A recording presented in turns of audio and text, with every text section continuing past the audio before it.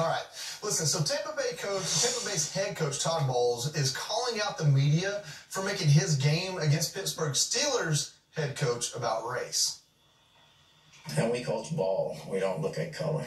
But you also understand that representation matters too, right? And that when young aspiring coaches or even football players, they see you guys, you know, they see someone that looks like them, they can grew up like them, that when you say you see you guys and look like them and grow up like them, means that we're oddballs to begin with. And I think the minute you guys start stop making a big deal about it, everybody else will as well.